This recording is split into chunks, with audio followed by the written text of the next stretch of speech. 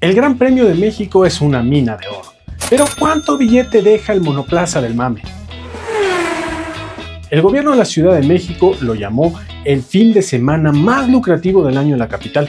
Sí, la palabra lucrativo fue la que utilizó la Secretaría de Desarrollo Económico de la ciudad. La derrama económica calculada por la Cerema fue de 19.550 millones de pesos, equivalentes a casi mil millones de dólares. Casi la mitad de esos ingresos fueron por la venta de derechos a medios de comunicación por las transmisiones del evento por unos 9.563 millones de pesos. Entre servicios de alojamiento, transportes de taxis y vehículos de aplicación, restaurantes, unos 2.800 millones de pesos. Pero lo que pagaron los aficionados nos vuela la cabeza.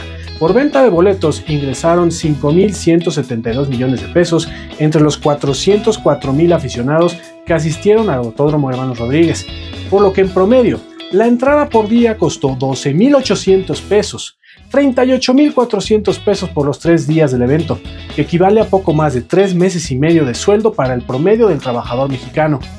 Hay que ahorrarle, chavos, o esperar a que nos caiga una herencia para poder subirnos al monoplaza del mame.